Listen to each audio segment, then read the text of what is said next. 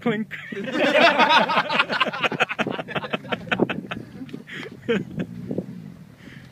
Get up, pick up, pick the rod that you just threw the block.